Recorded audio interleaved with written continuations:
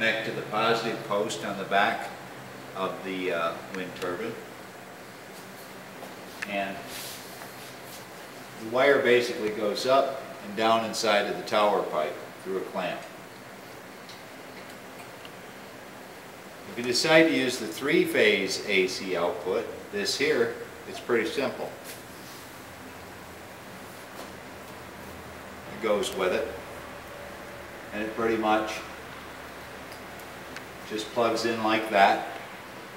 And now this cord, uh, regular extension cord, like a 10-2 with a ground, 12-2 with a ground, works just fine.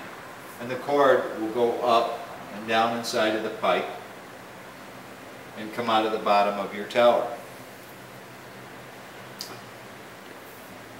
Now, say if you're using the DC output on a wind turbine, uh, for the ground, you can either run two wires, or on the other side, put a bolt in the PMA and use your ground wire. Now remember, this is just for the DC output. And then you would have two wires going down inside of the pipe, and we use welding wire for that. Um, if you don't want to run the ground wire uh, off the PMA, you can actually attach the ground to the tower. And the way to do that is uh, at the bottom of the tower, just use a, say, muffler clamp and use your black ground wire and clamp it there to go over to your charge controller. Okay, here's our charge controller board. And uh, say we decided to use the three-phase AC outlet on the wind turbine. Uh, here's our extension cord. It'll just come into the garage or shop or wherever you got it. And this block, this is a bridge diode, gets uh, mounted to the wall. And this is your extension cord from the wind turbine. And the wires just bolt onto the block, like so. Doesn't matter which way they go. And what this block does, it changes three-phase AC back to DC power. Why do you want to run three-phase AC? Well, there's no power drop from three-phase AC, and you can run a real long distance. It's, it's cheaper than using welding wire if you get a long way to go. Now, once you change this back to DC power, here's your negative and your positive bulb.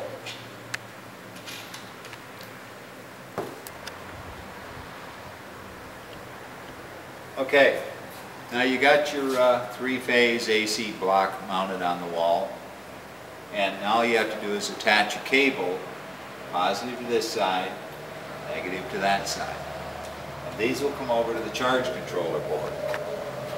And all wind turbines, solar panels, they need some way to charge the uh, battery or to keep the battery charged at a specific voltage so it doesn't overcharge or undercharge. So this is how this board works.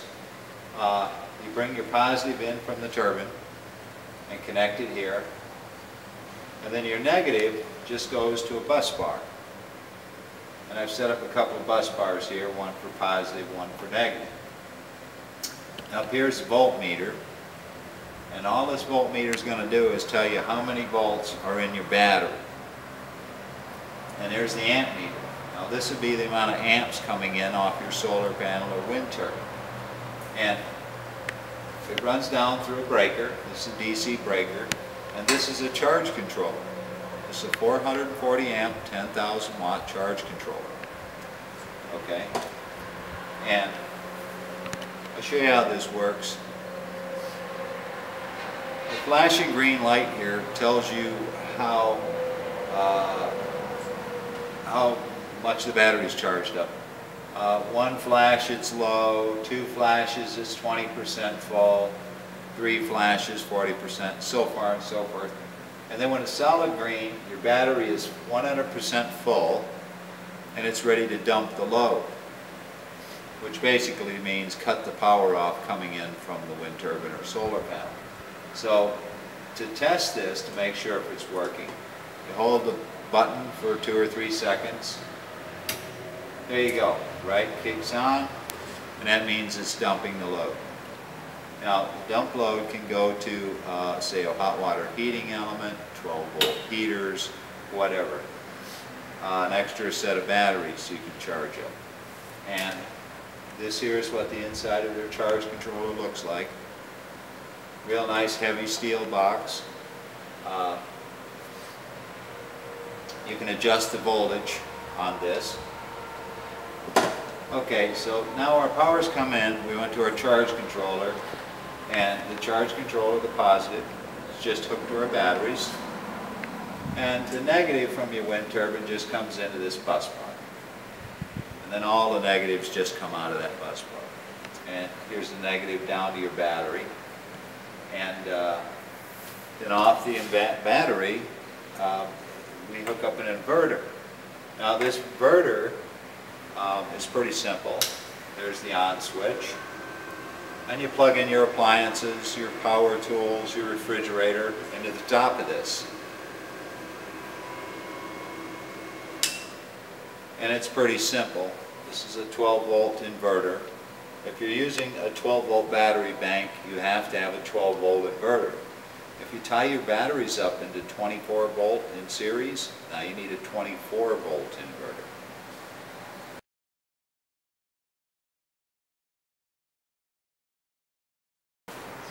Okay, to simplify everything, I'll run through this real quick. The wind turbine, our solar panel, the positive comes into this bar. This is a shunt bar because this is a 50 amp meter. A 50 amp meter requires a shunt bar. So the power comes in here, your positive, runs through the bar, back out of it through a breaker, through a charge controller. The charge controller keeps your battery from being overcharged and dumps the excess power to wherever you want to send it to when your batteries are fully charged. Now these two wires off from the shunt bar, these go to the amp meter. And these are just sensing wires and the amp meter will tell you how many amps your solar panels or wind turbine is putting out. We'll go back to charge controller. The power now runs through the charge controller, comes out of it, and the power runs directly uh, into a battery. And then the negative wire here comes, if you follow this, it would go to your wind turbine or to your three-phase block, whichever you're using. Uh, the, the negative just hooks to your battery. Now off the battery, we have a positive and negative, and we're running it to a DC to AC modified sine wave inverter. And what that does is converts the DC power from the battery to AC so that you can plug in household appliances, power tools, what have you. And a modified sine wave inverter is much cheaper than a pure sine wave inverter. Uh, this is like a 1200 watt inverter modified and it's about $150 and 12 volt. And the same thing, 12 volt, 1200 watt, in a pure sine wave inverter can be uh, $800. So to give you an example of how this works, the battery is fully charged and I'm going to turn on the inverter and there's some cooling fans inside the inverter to keep it cooled down. Now, I'm going to plug in my saber saw. There you go.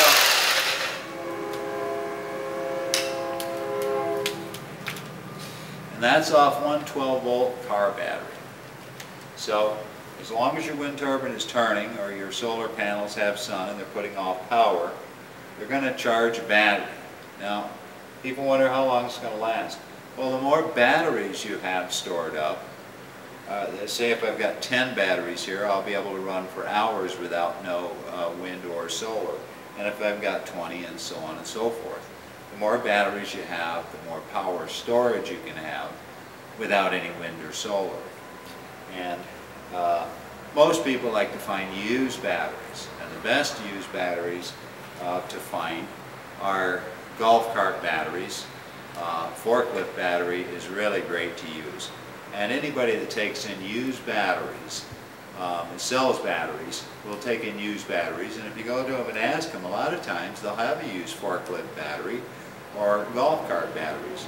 Uh, you can go to golf courses and talk to the maintenance fellows, and uh, when their batteries are worn out, um, they sell off the old ones usually just for scrap price, and it's pretty cheap. And uh, they can be worn out for a golf cart, but they'll work just beautiful for solar power. And uh, you can pick up $200 batteries for sometimes 10 bucks a piece. And they'll last you for years and years. And I know people that have had forklift batteries that have ran the same forklift battery for 20 years. So uh, there's two ways to do it. You can either use uh, deep cell marine batteries if you want, that you would buy, say, out of just any department store, uh, just for a boat. And uh, eight of those or four of them is a lot of power. So here's what it is. This is a 440 amp charge controller. What that means is, and 10,000 watts. Uh, if you've got a wind turbine that puts out uh, 100 amps, uh, 1,000 watts, uh, this would have handle four or five wind turbines. Uh, so that's what that means. It's going to take a load of 440 amps worth of wind turbines or solar panels. Or say if you've got 10,000 watts worth of wind turbines, uh, this will hold it. This is a question people ask me all the time.